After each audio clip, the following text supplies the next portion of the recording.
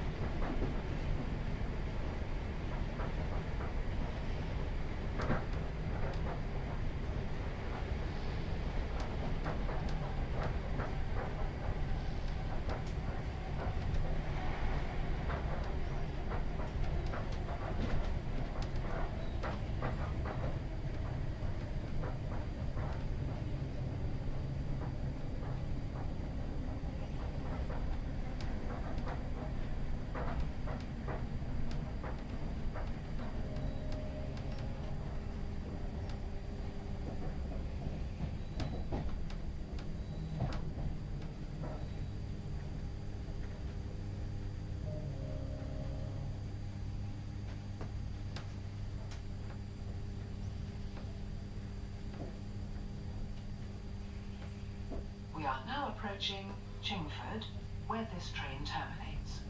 Please remember to collect all your personal belongings when leaving the train.